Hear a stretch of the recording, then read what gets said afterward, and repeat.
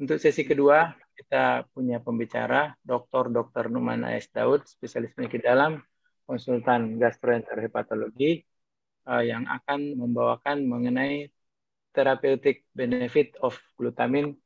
Saya kira ini lebih banyak lebih fokus pada uh, kasus-kasus hepatitis. Dr. Numan sudah online. Silahkan dok, waktu dan tempat. Ya, Terima kasih Dr. Lutfi. Assalamualaikum warahmatullahi wabarakatuh. Terima kasih banyak.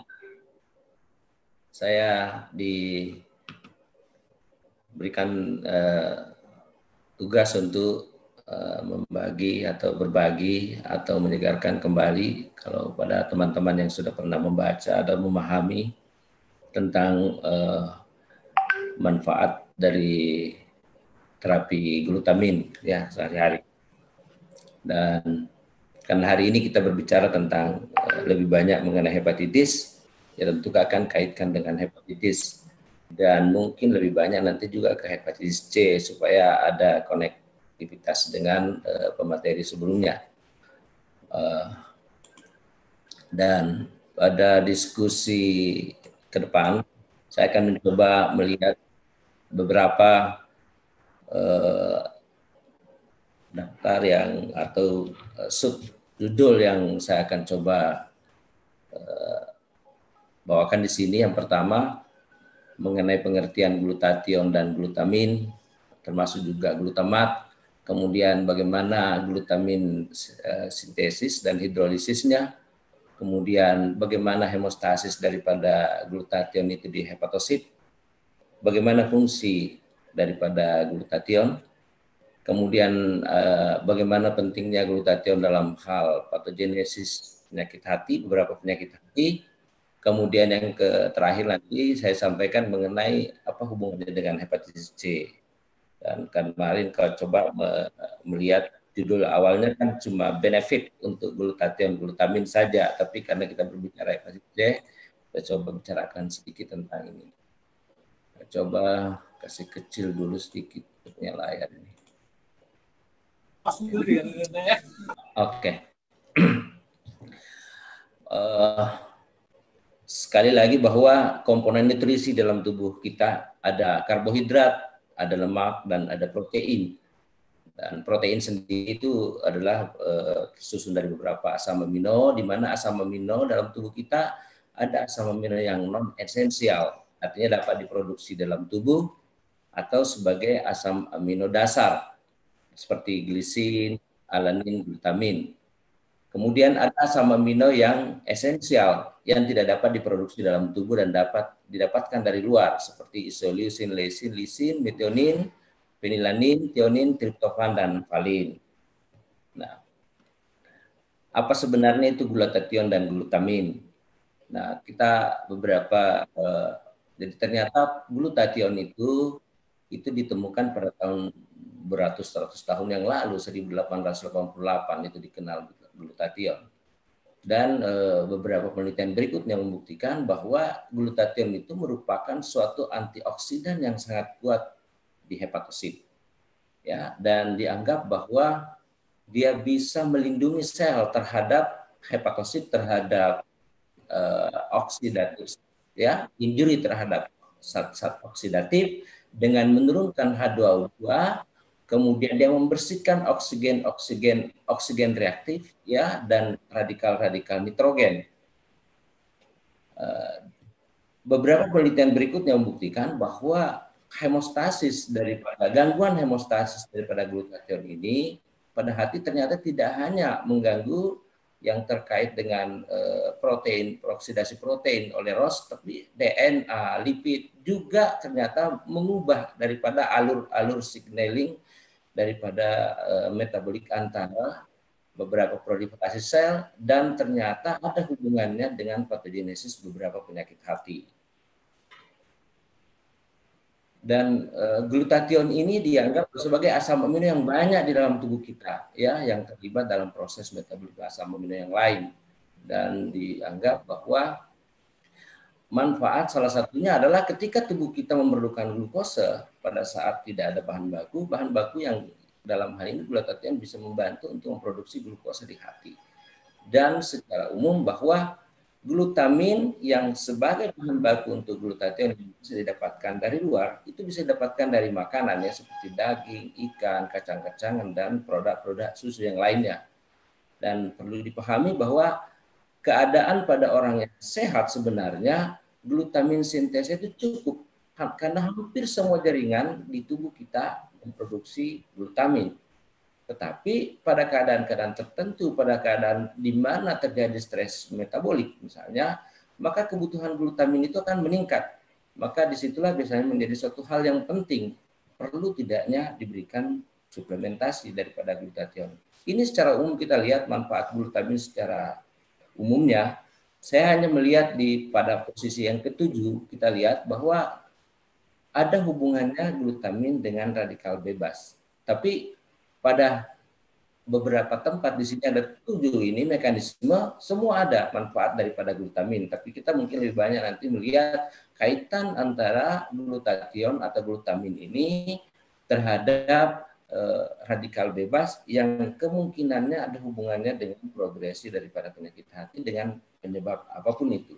Nah, ini adalah suatu alur metabolisme yang eh, di saya tampilkan di slide ini bahwa glutamin menjadi glutamat, kemudian glutamat menjadi glutathione itu diperantarai beberapa enzim. Kemudian begitu juga, begitu peranan daripada glutamin atau glutathione terhadap produksi glukosa juga ada melewati suatu beberapa oksidasi, oksidasi maupun hidrolisis yang melibatkan beberapa enzim di sini.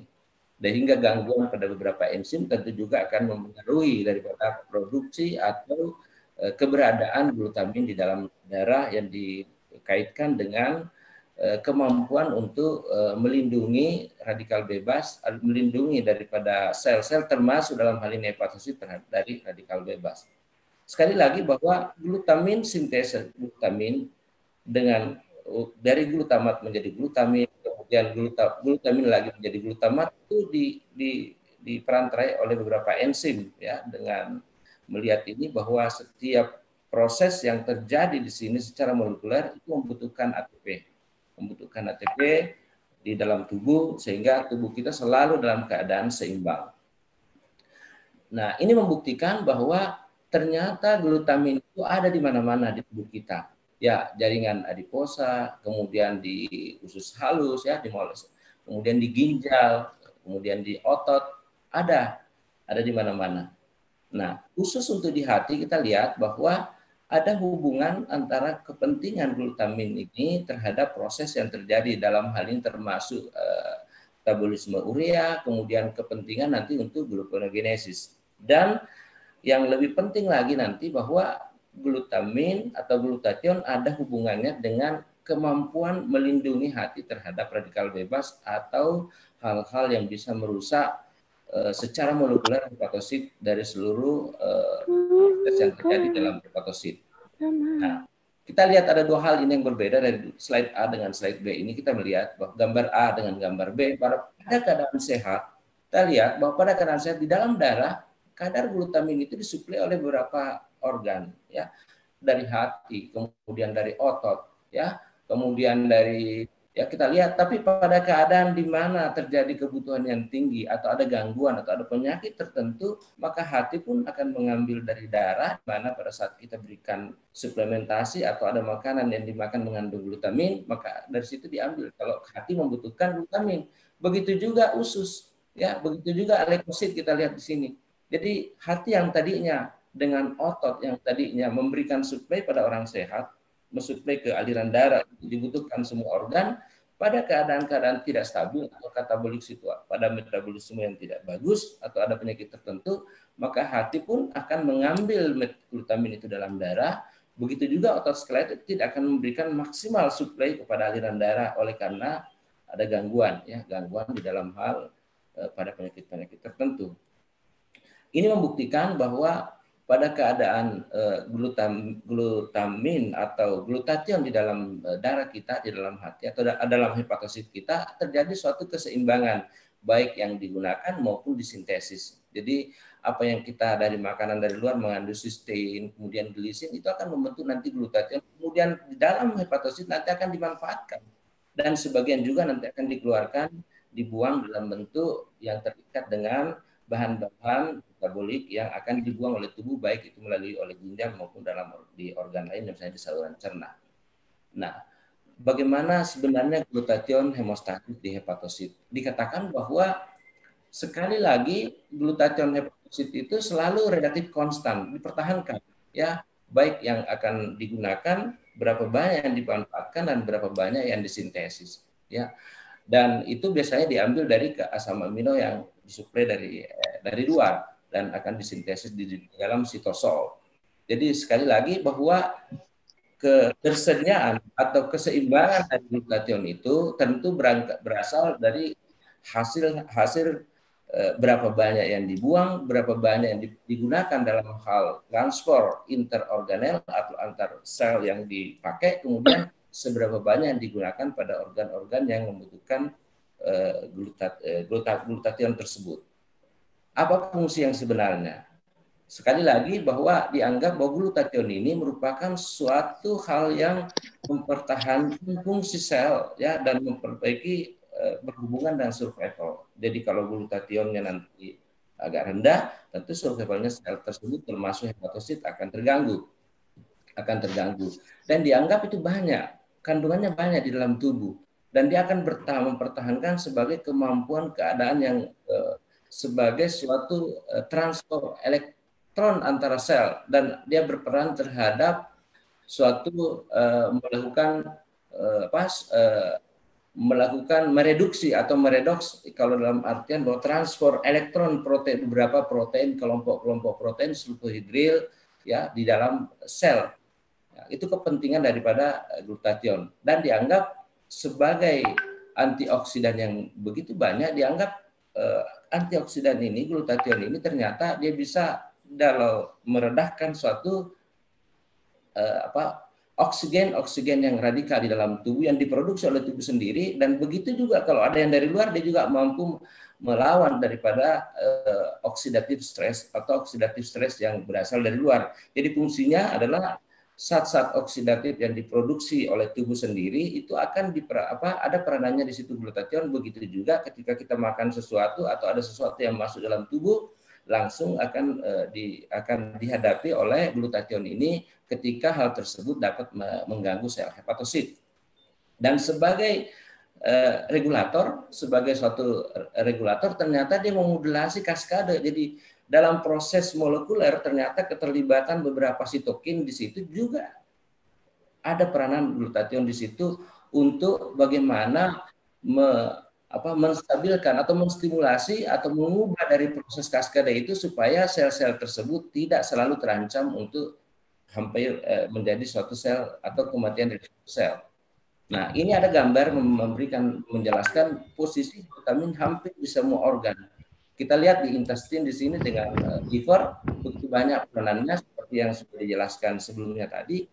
Dan kita lihat di sini bahwa dalam hal metabolisme sel bahwa glutathione itu merupakan elemen pasar meregulasi metabolisme hepatik dan dapat menstimulasi sintesis DNA. Jadi begitu banyak, begitu penting peranan ternyata glutathione ini.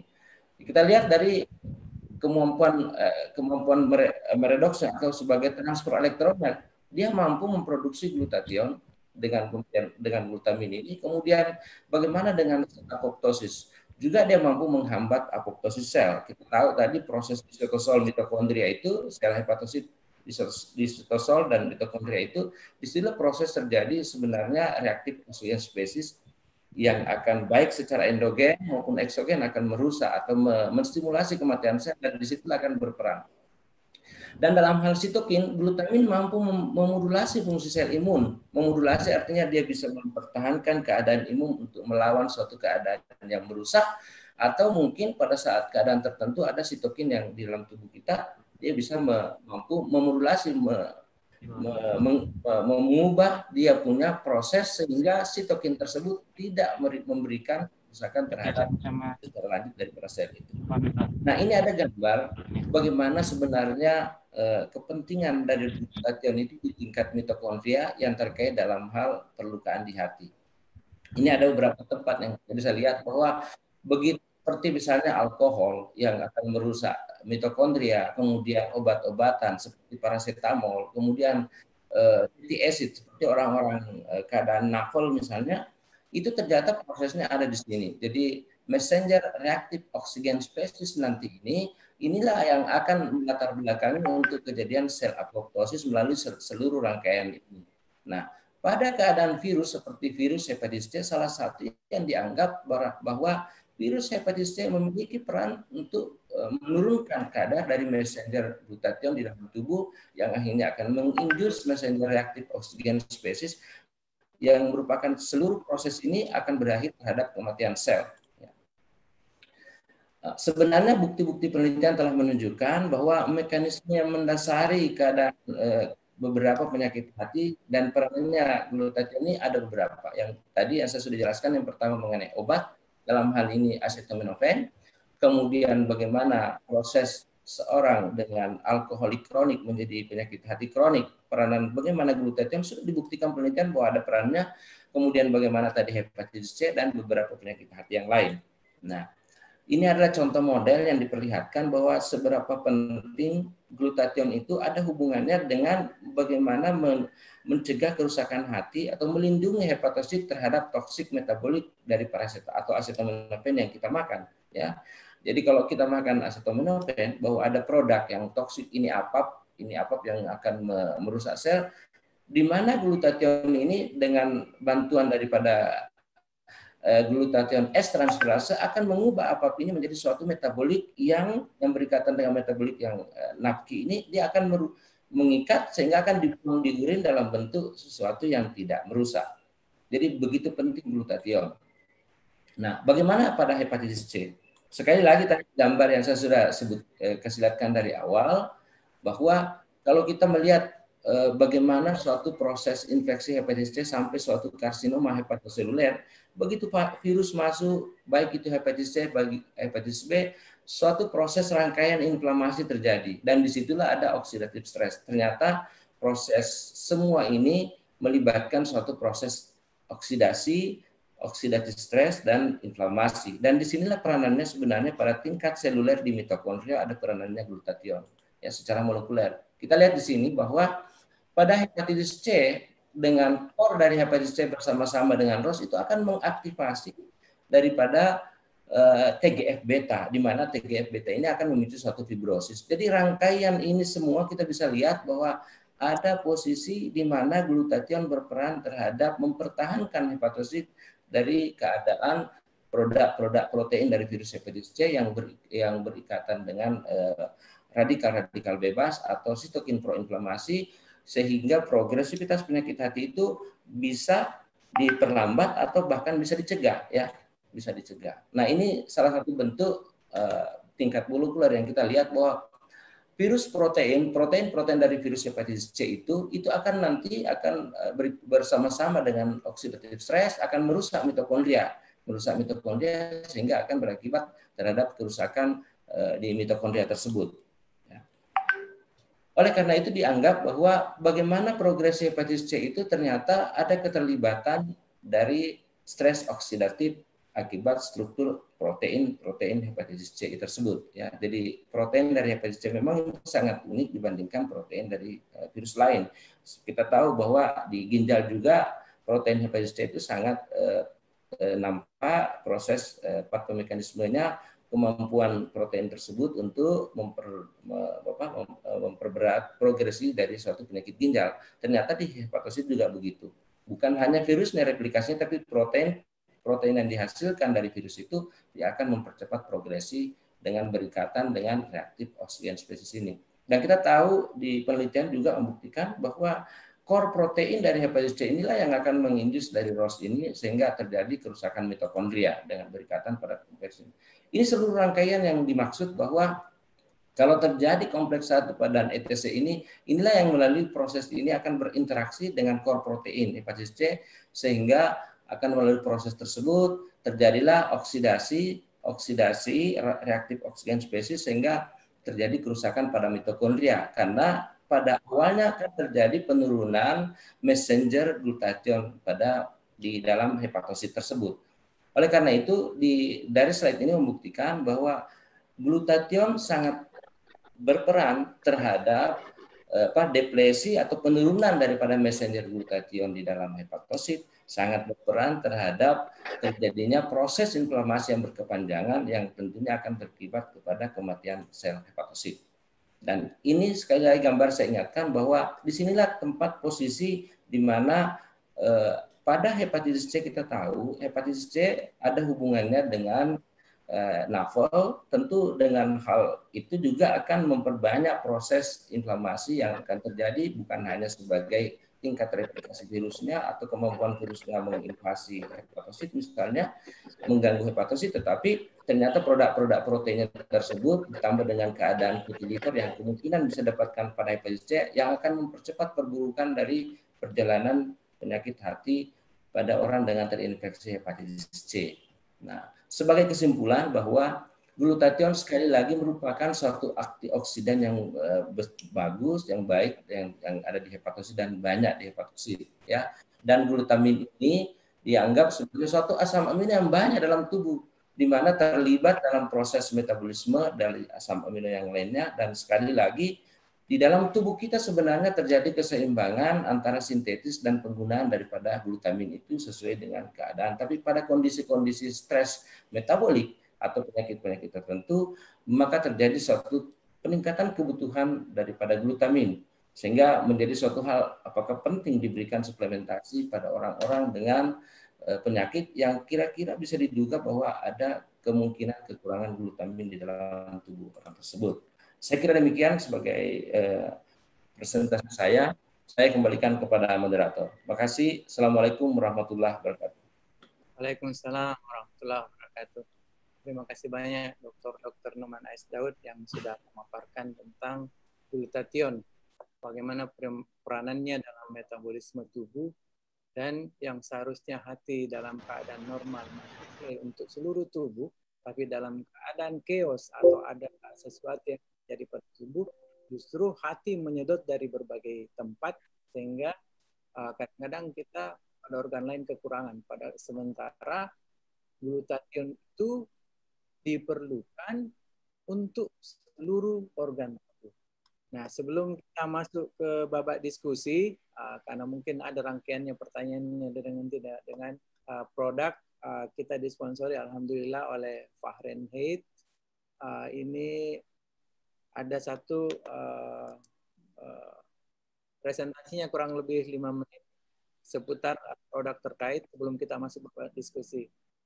Kepada Ibu uh, Apoteker Surwanita Soekardi S. Farmasi. Uh, dan tempat kami persilahkan. Oke, uh, terima kasih uh, untuk dokter-dokter Lutfi atas waktunya. Uh, di sini uh, saya dari Fahrenheit akan uh, memperkenalkan uh, produk kami untuk tentunya untuk treatment hepatitis C, di mana di sini kami mempunyai produk dengan nama paket hepatitis C. Uh, kami beri nama dengan paket hepatitis C karena uh, produk kami ini dijual dalam bentuk uh, satu buah paket yang terdiri dari empat produk.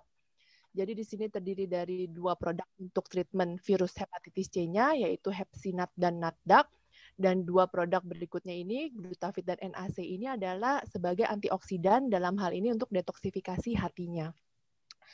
Nah, jadi uh, bentuk sediaan kami nanti ini yang terjual adalah dalam bentuk satu box besar seperti ini, yang terdiri dari tiga hepsinat, tiga natdak, tiga box NAC, dan satu box glutavit yang isinya 100 kapsul. Nah, kenapa dalam satu box ini terdiri dari masing-masing tiga box? Karena memang paket ini uh, kita uh, desain untuk treatment tiga bulan karena seperti yang tadi sudah dipaparkan oleh dokter uh, Farda bahwa dalam treatment hepatitis C itu adalah dalam waktu tiga uh, bulan atau 12 minggu. Nah sehingga memang uh, tujuannya adalah supaya pasien tentunya uh, selesai treat, selesai treatmentnya dalam waktu 12 minggu. Oke, okay.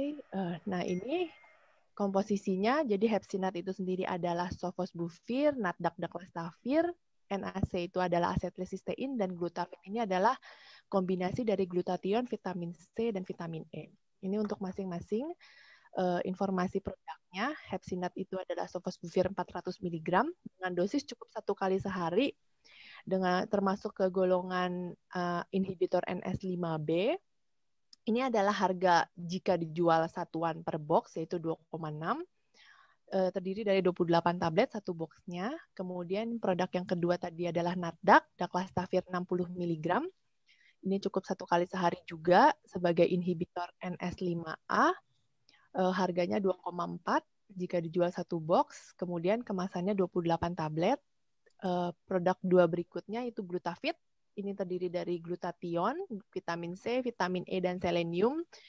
Di sini tujuannya sebagai antioksidan. Satu boxnya itu terdiri dari 100 kapsul. Harga satu boxnya itu adalah 800 ribu. Dan yang terakhir adalah NAC, eh, asetilsistein yang kita kenal juga suatu prekursor glutathione. Ini tujuannya juga sama sebagai antioksidan dengan harga 72.000 yang isinya 30 kapsul. Nah, uh, yang menjadi ini adalah perbandingan harga. Jadi di sini adalah perbandingan harga dibandingkan dengan mungkin uh, treatment hepatitis lain yang tersedia di uh, pasaran. Uh, eh, HNA yang tadi saya sebutkan, jika Hepsinat dan Natdak untuk treatment 3 bulan itu uh, biayanya seharusnya adalah 15 juta. Namun dengan kami menjual dalam bentuk paket hepatitis C yang tadi terdiri dari 4 box itu, uh, kami hanya menjual dengan harga 9.200. Nah, di sini uh, seharusnya uh, value dari tiga dari empat produk tersebut adalah seharusnya 16 juta. Jadi bisa kita katakan sebetulnya glutavit dan NAC yang kita masukkan ke dalam paket itu adalah uh, free atau uh, uh, gratis ya dok seperti itu. Nah dari harga 16 juta ini diskon sehingga HNA yang akan dijual untuk empat produk tersebut untuk treatment 3 bulan itu hanya 9.215.200. Nah, bagaimana dengan produk lain yang tersedia di uh, pasaran? Biasanya yang tersedia di pasaran itu uh, jualnya per box, tapi untuk harga treatment 3 bulannya itu biayanya adalah 14,4 sampai 15 juta. Jadi kalau kita lihat memang dari uh, segi harga sangat kompetitif sekali dan juga ini tentunya akan sangat membantu pasien-pasien yang uh, untuk mentreatment hepatitis C-nya yang tadinya tidak mampu untuk membeli dengan harga 15 juta tersebut. Nah, eh, keunggulan lainnya selain tadi harga, jadi dengan berupa paket hepatitis C, tentunya kita bisa memastikan bahwa pasien tidak terjadi resiko khusus terapi, dokter, karena kami sudah mendesain satu paket ini untuk terapi tiga bulan. Kemudian kelebihan yang kedua, kami lengkapi dengan antioksidannya yaitu glutavit dan NAC kapsul yang tujuannya itu uh, adalah untuk detoksifikasi hati dan yang terakhir harganya yang paling ekonomis dibandingkan tadi uh, yang lainnya produk lainnya yang ada di pasaran untuk treatment hepatitis C. Nah, kenapa uh, antioksidan yang digunakan harus dua yaitu NAC, acetylcysteine dan glutavit. Jadi karena memang masing-masing uh, bekerja di fase yang berbeda untuk detoksifikasi hatinya. Jadi untuk glutavit sendiri itu di fase 1 dan NAC sendiri itu di fase 2. Yang mana kedua obat ini akan secara sinergis um, memberikan efek detoksifikasi hati yang tadi uh, kaitannya dengan radikal bebas yang sudah dijelaskan oleh uh, Dr. Numan. Oke, uh, sebagai kesimpulannya, jadi paket kami, paket hepatitis C dari Fahrenheit, itu merupakan terapi pen genotype karena terdiri dari sofosbuvir dan daclastavir Kemudian dengan tingkat kesembuhan yang tinggi, yaitu lebih dari 97, harga kami ekonomis uh, eh, 9.215.200. Uh, tidak terjadi resiko putus obat karena kami sediakan dalam paket untuk tiga bulan terapi dan yang terakhir uh, kami lengkapi dengan antioksidan. Sekian presentasi dari saya. Saya kembalikan kepada Dr. Lutfi. Ya, terima kasih banyak Ibu Suwanita uh, atas presentasinya mengenai produk ini. Kita masuk pada babak pertanyaan. Ini banyak sekali pertanyaan yang masuk. Uh, chat memang ada beberapa, tapi lebih banyak uh, chatnya private. Dan uh, fokusnya saya lihat lebih banyak pertanyaan ini ke hepatitis C. Uh, perlu kami sampaikan juga bahwa uh, webinar kita, seminar kita ini siang ini itu ber SKP dan uh, sertifikatnya akan dikirimkan langsung ke email masing-masing yang sudah didaftarkan pada saat registrasi. Oke. Okay. Kita mulai yang pertanyaan pertama. Untuk kasus tanpa penyulit, apakah hepatitis C dapat diterapi oleh dokter umum? Melihat sekarang epidemi yang begitu luas. Mungkin ini ditujukan ke dokter Farda. Dokter Farda di tempat, silahkan dok. Bisa di on-kan videonya dengan mic-nya. Oh, belum videonya ya, dok? Ya, ya, silakan. Iya, makasih Dr. Lutfi. Uh, jadi uh, pertanyaan ini sangat bagus ya. Jadi kalau untuk uh, negara-negara di luar seperti Amerika, mereka memang punya general practitioner GP ya dokter umum itu bisa mengobati kasus-kasus hepatitis C yang uh, tadi uh, yang saya sampaikan berdasarkan assessment yang certified testing itu bahwa dia tidak ada komplikasi sirosis misalnya dan tidak ada keadaan-keadaan lain ya Eh, mereka punya GP bisa melakukan tata laksana pemberian antivirus dengan mengikuti tadi pola-pola bagaimana mengakses pasien hepatitis C untuk dapat diberikan antivirus. Namun uh, untuk saat ini minta maaf di Indonesia ya sesuai dengan kompetensi dokter ya. Jadi kalau eh, kompetensi dokter umum itu untuk hepatitis C saya tidak salah adalah dua ya dua atau sudah naik barangkali tiga ya dokter Lutfi. Dua masih dua barangkali. Jadi untuk mendiagnosis. Jadi untuk saat ini terapi uh, pemberian antivirus pada hepatitis C ini masih uh, merupakan tugas uh, paling itu adalah dokter spesialis penyakit dalam terutama. Karena mereka punya rekomendasi untuk kompetensi adalah kompetensi empat.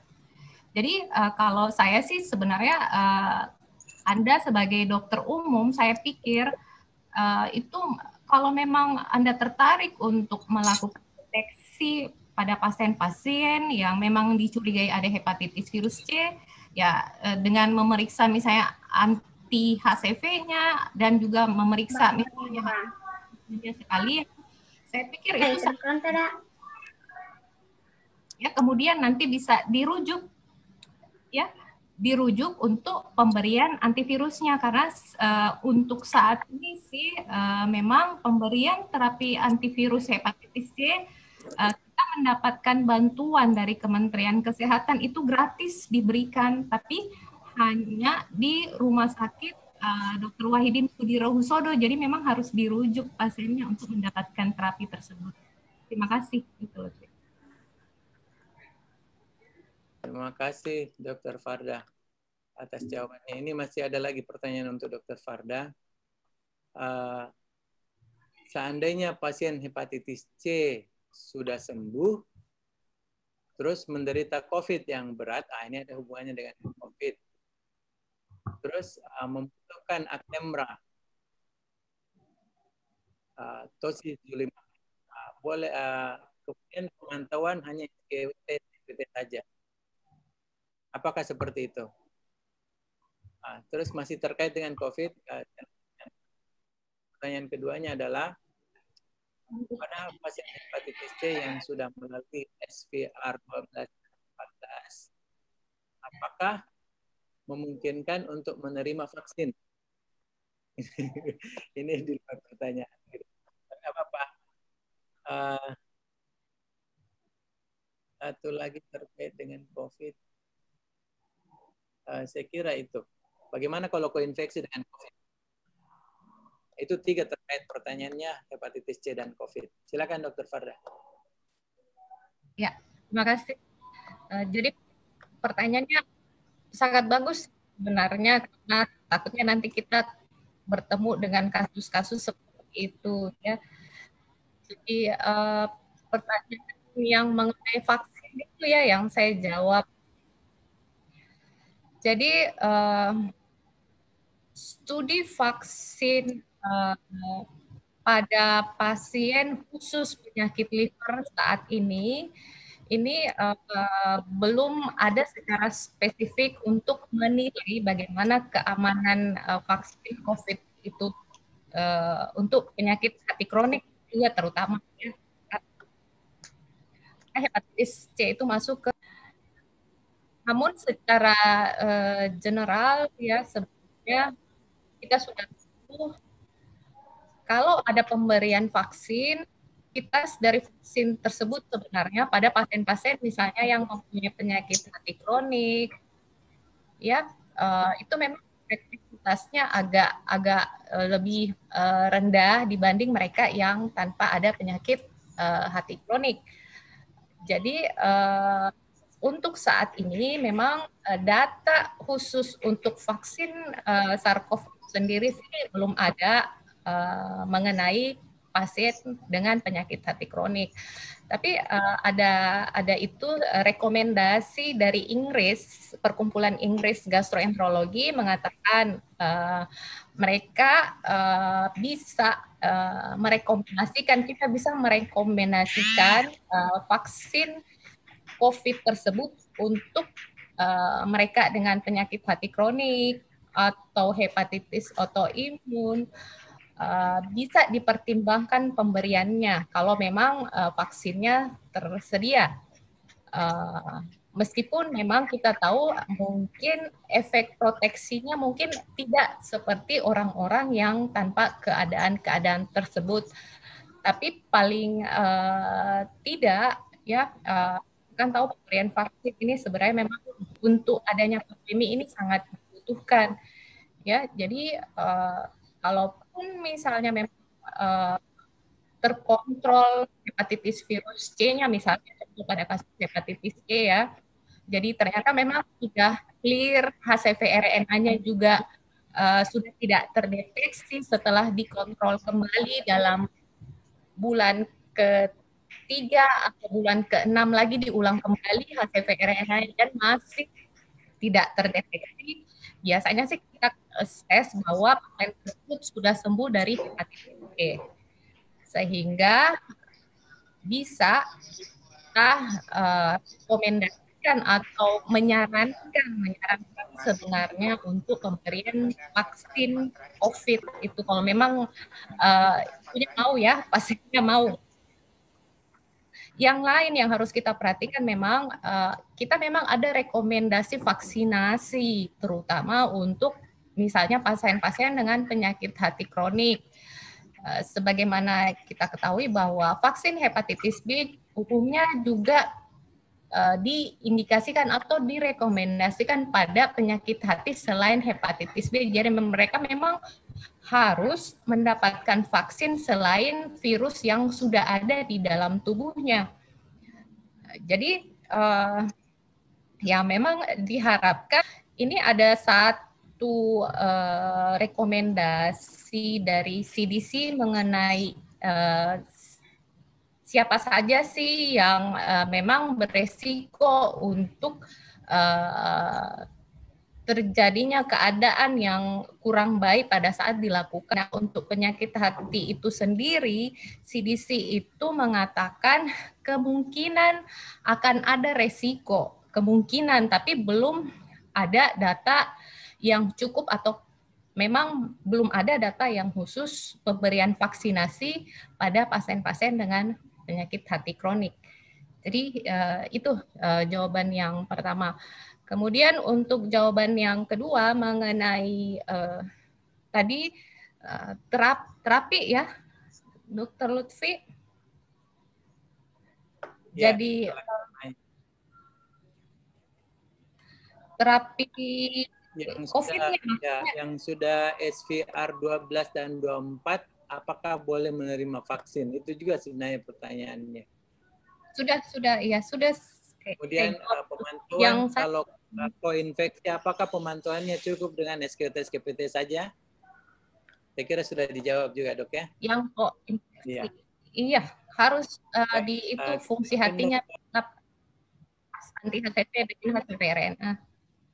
Kita pindah ke dokter Numan. Ada lima pertanyaan. Saya satu saya dulu. Uh, Tabe dok izin bertanya, apakah penggunaan glutathione pada pasien hepatitis dikonsumsi selama pengobatan antivirus atau bisa dilanjutkan setelah itu? Apakah efek sampingnya dan kontraindikasi beriannya silakan ya terima kasih. Yang pertama adalah eh, penggunaan glutathione ya atau glutamin. eh, suplementasi.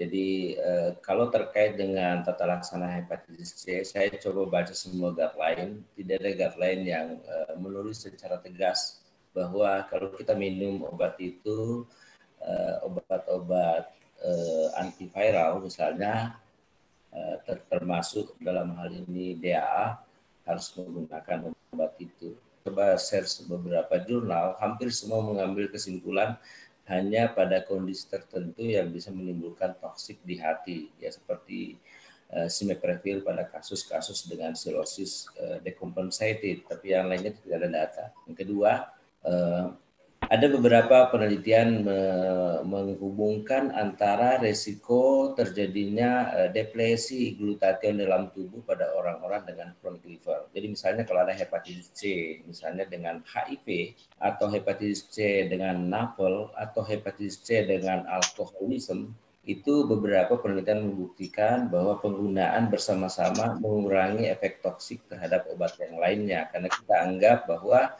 ketika orang itu diobati dengan penyakit dasarnya dengan obat antiviral misalnya hepatitis C maka eh, tentu akan mendapatkan juga obat yang lain dari komorbid yang ada.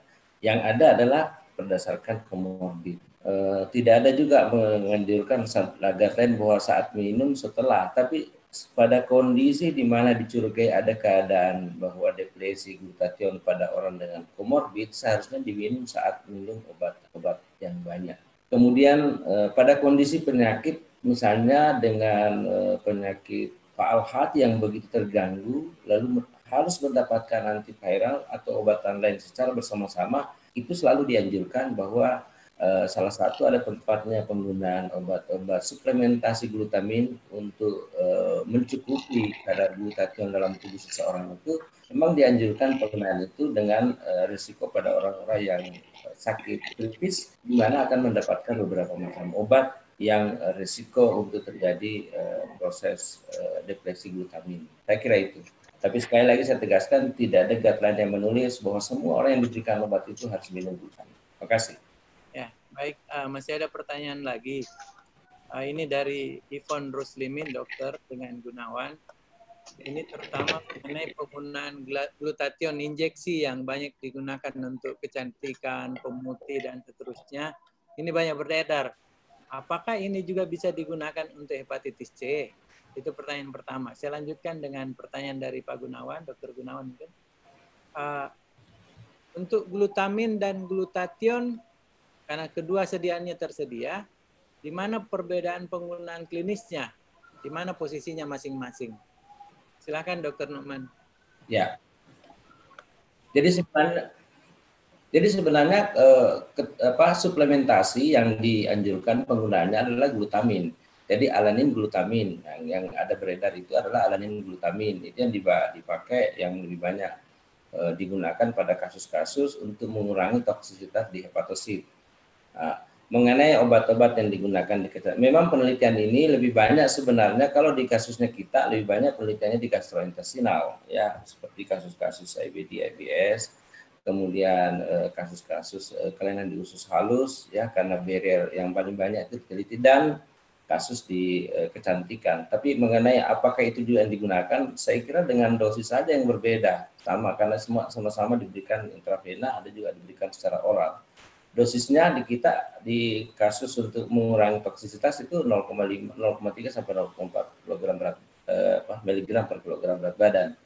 Tapi saya tidak ber, eh, pernah membaca mengenai apakah yang sama digunakan pada kasus-kasus dengan eh, pada orang yang kecantikan. Ya. Kemudian posisi tadi glutamin ya yang saya tahu itu adalah yang beredar ya lebih banyak. Kan sebenarnya yang kita pakai adalah tubuh kita yang membentuk nanti yang menjadi uh, glutathione. Yang seharusnya yang diberikan adalah bentuk glutamin alanin glutamin di yang disuplementasi ya. Ya, terima kasih Dr. Lutfi. Baik, uh, kita masih punya pertanyaan untuk Dr. Farda. Ini banyak sekali pertanyaan masuk. Di Japri. Pertanyaan untuk Dokter Fada. Uh, kalau pasien dengan gangguan sirosis hati, apakah mungkin kalau cek virus hepatitis C-nya negatif, Lalu obat apa yang harus dikonsumsi? Nah ini hepatitis sirosis tapi HCP-nya negatif. Nah diminta apa-apa yang mesti dikonsumsi pada kasus ini. Ini saya kira benar-benar kasus pertama. Yang kedua, eh, berapa besar keberhasilan terapi hepatitis C pada CTP-C dalam mencapai sustain viral response. Saya kira itu dua untuk pertanyaan Dr. Farda. Uh, silakan dok.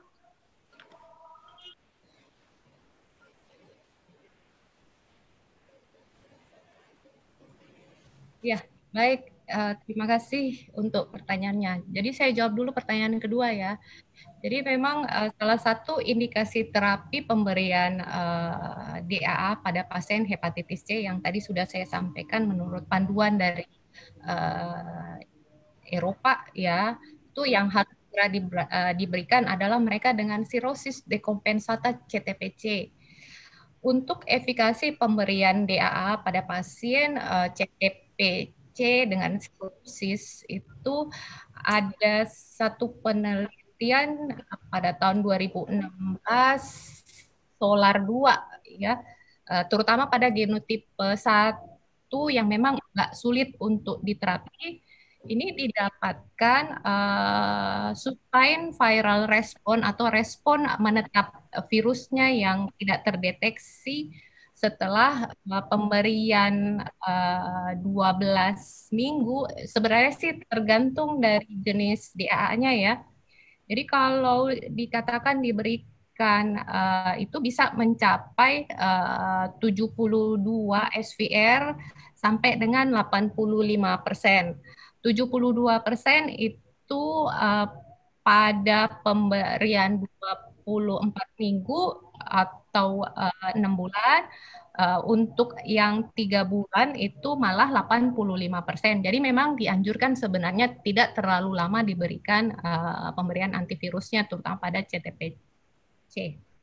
Uh, ini berbeda dengan CTPB. Jadi kalau CTPB biasanya pemberian antivirusnya itu memang harus bulan untuk mencapai angka uh, SPR yang lebih dari 90 persen. Kemudian uh, pertanyaan yang kedua, Dokter Lutfi. Uh, ini hepatitisnya negatif tapi sirosis. Oh iya, kan? sirosis. Ya, jadi uh, yang uh, kalau misalnya virusnya sudah uh, negatif, tidak terdeteksi, ya kalau ada pasien dengan keadaan hepatitis virus, kemudian disertai dengan sirosis, berarti ada dua keadaan sebenarnya yang harus kita tata laksana. Ya beruntung kalau virusnya kita sudah tata laksana, berarti sisa sirosisnya. Jadi secara general nanti yang akan kita terapi adalah sirosis hatinya. Jadi nanti dilihat apakah sirosis hatinya ini sudah kompensata ataukah dekompensata.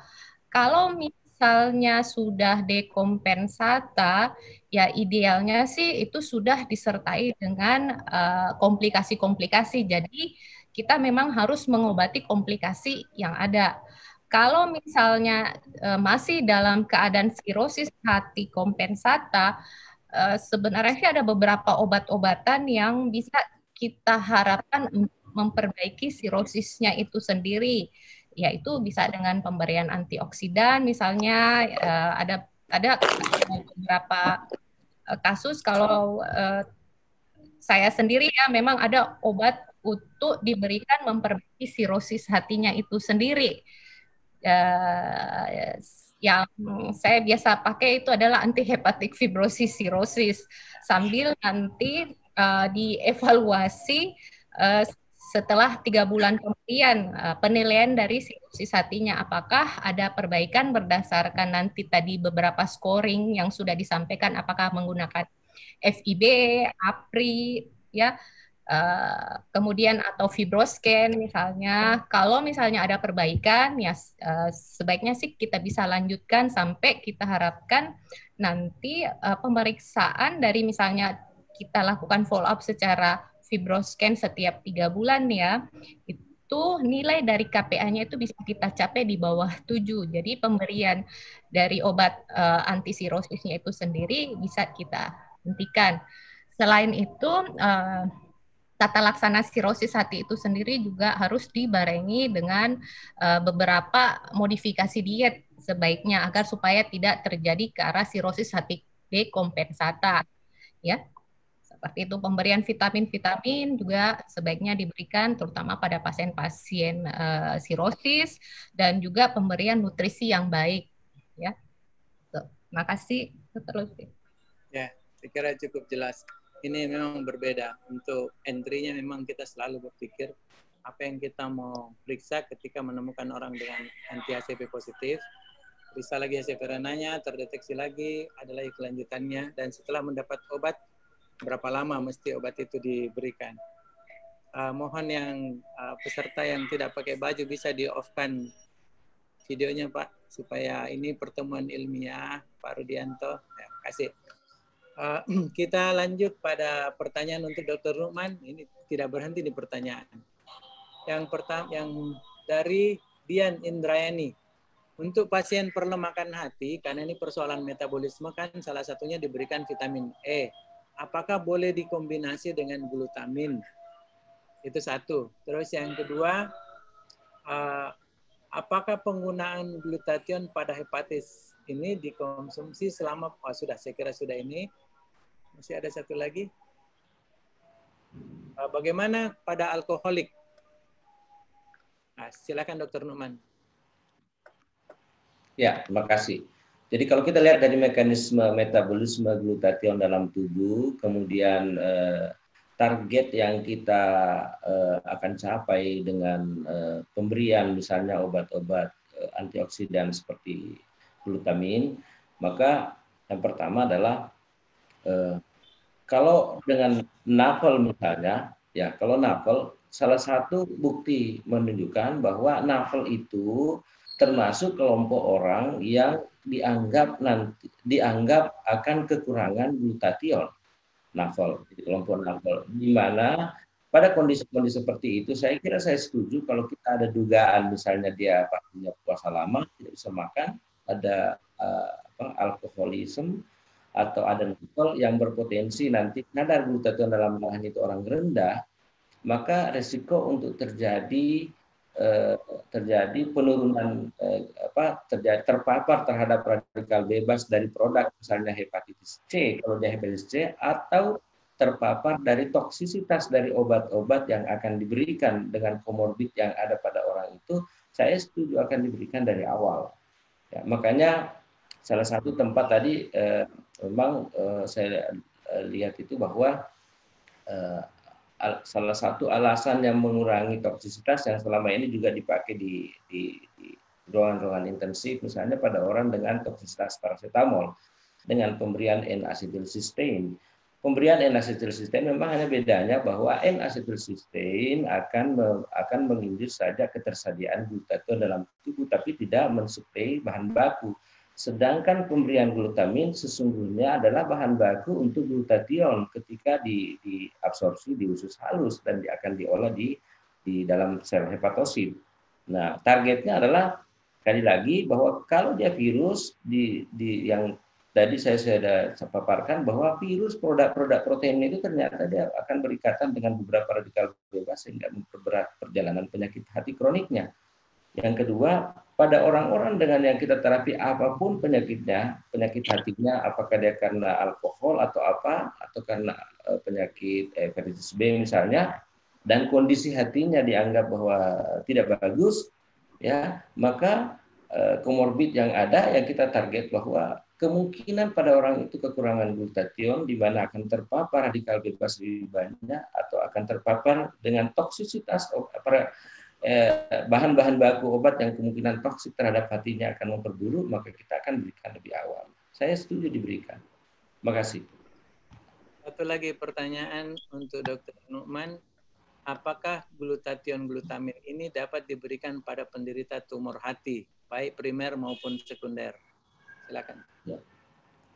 Uh, tentu mekanismenya berbeda. Kalau kita lihat dari tumor hati, tumor hati terutama yang primer, jadi targetnya kita kan sebenarnya kalau tumor hati tergantung dari kalau kita berbicara gradasi, kalau misalnya awal-awal dan tidak didahului oleh masif nekrosis dari hepatositnya, mungkin bisa saja diberikan. Tapi kalau dari awal-awal masif dari nekroinflamasi misalnya didahului oleh sirosis pada kasus-kasus primer, tentu manfaatnya tidak terlalu nampak ya. Tapi sekali lagi dianjurkan bahwa pada kasus orang dengan sirosis, ditangani sirosis, di mana kada cadangan hatinya lebih jelek, maka diharapkan bahwa kalau ada indikasi penggunaan obat lebih banyak diberikan obat-obat salah satunya adalah obat yang sifatnya antioksidan. Ya. Tapi ini seperti bukti, ya. bukti penelitian atau di guideline tidak ada anjuran, tapi bukti-bukti penelitian menunjukkan ada manfaat pada orang-orang dengan tingkat kerusakan hati yang berat lalu diberikan obat-obat yang bersifat antioksidan untuk hatinya. Tapi di guideline saya coba telusuri tidak ada menulis secara tegas bahwa ada manfaat pada orang hepatoma misalnya eh, diberikan dengan obat-obat eh, terutama yang tentu perjalanan klinisnya seperti misalnya CPC atau BCLCC misalnya eh, saya kira pemberian obat-obat tersebut eh, mungkin perlu dipertimbangkan apakah eh, kita butuh atau tidak ya tapi di guideline tidak ditulis obat-obat tersebut. Terima kasih. Ya, tetap saja kita berpatokan pada bahwa penyakitnya apa, itu yang utama dulu yang ditangani, kemudian bahwa di situ terjadi metabolisme support, maka di situ kemudian masuk seperti glutamin. Saya kira uh, itu. Kemudian kita pindah ke Dokter Farda, masih ada pertanyaan dok. Ini saya kira dua pertanyaan terakhir. Yang pertama, mohon izin bertanya dok, ini dari Dokter Dwi Nalawaludin. Kalau tadi sudah disebutkan koinfeksi HCV, uh, SARS-CoV, bagaimana kalau koinfeksi hepatitis B? Apa yang mesti dilakukan pada kasus ini? Hepatitis C koinfeksi dengan hepatitis B. Terus pertanyaan kedua, pada saat mendapatkan terapi, bagaimana follow up-nya? Uh, silakan dok, Dr. Farda. Uh, terima kasih atas pertanyaannya, Dokter Ida ya. Siapa dokter lagi? Dokter Dwi Nawaludin dengan Dokter Resti. dokter Dwi Nawaludin, Dokter Resti. Oh, dokter ya. Dokter Resti ya. Iya. Jadi bagaimana pada pasien-pasien yang koinfeksi hepatitis virus B? Jadi memang idealnya pada pasien-pasien yang kita HBS dengan anti HCV positif, yang paling awal juga evaluasi kalau eh, berdasarkan panduannya guidelines uh, internasional uh, maupun nasional itu paling awal adalah kita menilai bagaimana aktif tidaknya hepatitis virus B-nya seperti itu. Jadi uh, tetap uh, disarankan nantinya pemeriksaan misalnya HBV DNA-nya ya apakah itu meningkat dia punya SGP SGPT misalnya ataukah misalnya ada pada kasus-kasus di mana pasien tersebut membutuhkan terapi yang bisa menyebabkan imunosupresi misalnya mendapatkan obat-obat kemoterapi nah itu diindikasikan untuk diberikan terapi awal hepatitis B-nya lebih dahulu dia seperti setelah itu uh, hepatitis C-nya uh, kita terapi. Tapi kalau dilihat dari uh, bagaimana perkembangan terapi hepatitis C sekarang ini yang hanya membutuhkan waktu yang singkat, ya saya saya pikir sih tidak ada salahnya kita bisa mencoba mengobati hepatitisnya hepatitis C-nya bersama-sama dengan hepatitis C-nya atau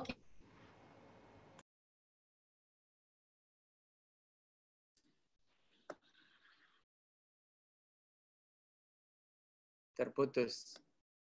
Dokter Farda. Terputus Dokter Farda. Ya, Dokter Numan barangkali bisa memberikan penjelasan tambahan mengenai kasus ini. Silakan, Dok. Ya, sebenarnya kalau target pengobatan hepatitis itu B dengan C target eliminasi virus ya target eliminasi virus sama tadi ada juga pertanyaan tadi ini yang masuk saya lihat mungkin dia bilang sampai kapan mau diberikan vitamin misalnya ya saya kira eh, ingat bahwa glutamin, alan glutamin atau yang tersedia di mana-mana itu sekarang itu adalah suplemen, suplemen dan tidak ada parameter klinis yang kita bisa pegang secara spesifik untuk mengatakan bahwa sampai di sini kita kasih.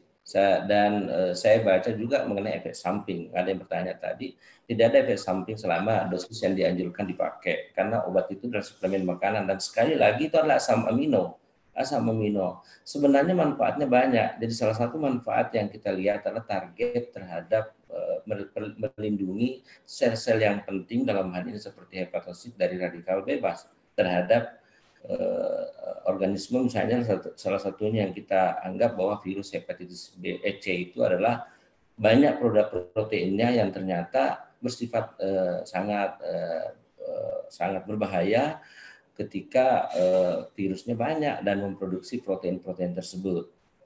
Tapi prinsip penanganan hepatitis B maupun C terkait dengan uh, semuanya adalah utamanya adalah eradikasi virus. Kalau diberikan DA dengan target misalnya kombinasi tadi obat yang dijelaskan dokter Farda sampai 100%, 95% ke atas, itu adalah target utama tinggal kita melihat komorbidnya. Kalau komorbidnya ada suatu keadaan risiko untuk terganggu livernya oleh karena obat-obat yang lain yang diberikan, atau karena penyakit komorbid seperti hepatitis C dengan alkoholisme, hepatitis B dengan alkohol, hepatitis B, C dengan HIV, maka saya pikir eh, tidak salahlah berdasarkan data-data apa data evidence bahwa ada tempatnya pemberian obat-obat atau suplementasi asam amino seperti yang saya jelaskan tadi ya. Hanya mungkin ya di guideline memang tidak secara tegas menjelaskan seperti itu karena uh, posisi guideline itu selalu menganjurkan hal target utama. Target utama adalah eradikasi virus. Saya kira di situ cuma pengobatan hepatitis B lama pengobatan hepatitis C lama sehingga risiko untuk uh, toksisitas obat dengan uh,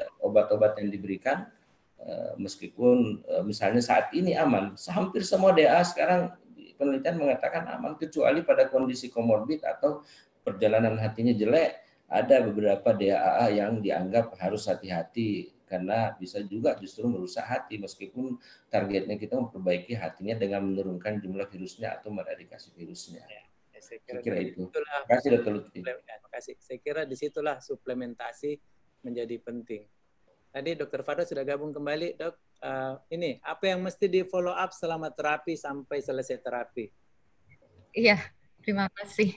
Uh, maaf tadi saya punya jaringan jelek.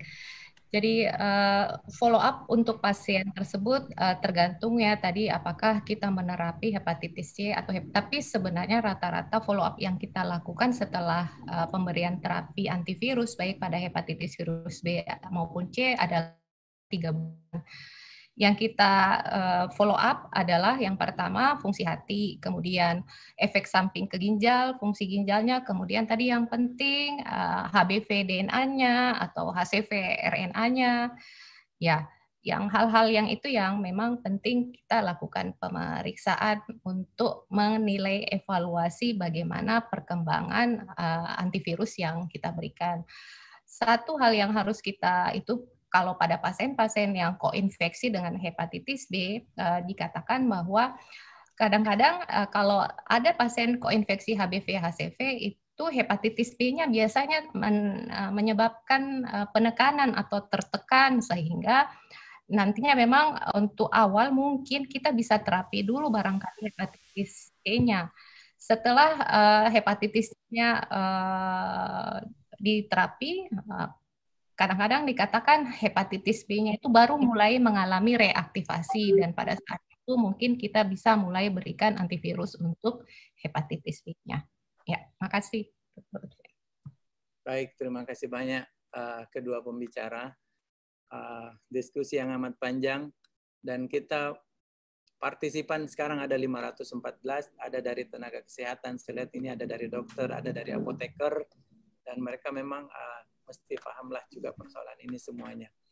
Kalau boleh saya sedikit uh, menutup, memberikan uh, penutup. Uh, menata laksanai hepatitis, kita fokus pada hepatitis C. Uh, memang virusnya dulu yang utama, bagaimana menghilangkan virusnya. Kemudian yang kedua, evaluasi bagaimana hatinya. Nah, setelah itu kemudian saat mendapatkan obat ada yang dapat tiga bulan, ada yang dapat enam bulan, tergantung pada indikasinya masing-masing. Maka pada tahapan ini kita mengevaluasi apakah benar-benar virusnya berkurang sampai menghilang, apakah hatinya benar-benar membaik menjadi sehat. Tentu saja kedua parameter ini kita gunakan, parameter hati dan parameter virusnya. Dan semakin eh, dan tadi Dokter Fada sampaikan bahwa dengan obat-obat yang ada saat ini, jumlah virus hepatitis C betul-betul menghilang dalam waktu 3 sampai 6 bulan sesuai dengan indikasinya masing-masing. Dan follow up-nya setelah itu dilihat 6 bulan setelahnya apakah benar-benar hilang atau uh, tidak.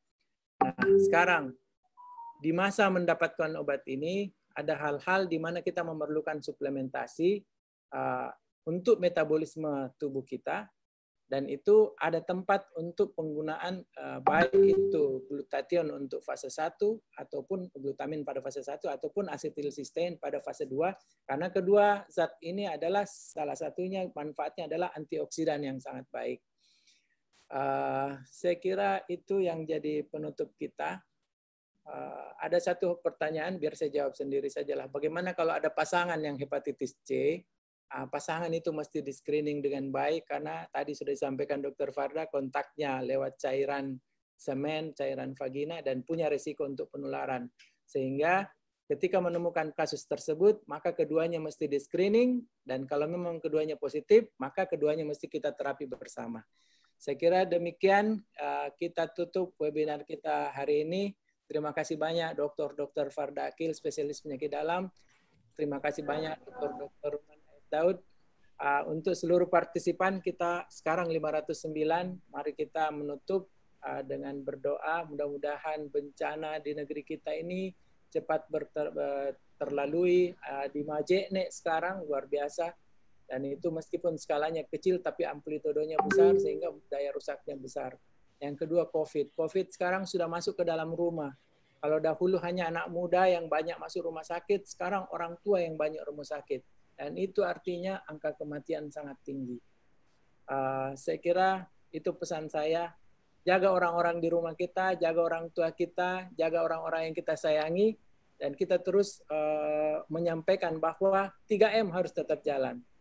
Ya, jaga jarak, gunakan masker, cuci tangan, uh, jangan sampai terjadi hal-hal yang uh, tidak diinginkan dan menjadikan kita terpisah dengan orang-orang yang kita cintai, kita sayangi. Saya tutup dengan doa kafar majelis. Subhanakallahumma wa bihamdik. Nashhadu an la ilaha illa anta. Wa nastaghfiruka wa natubu ilaih. Assalamualaikum warahmatullahi wabarakatuh. Waalaikumsalam warahmatullahi wabarakatuh.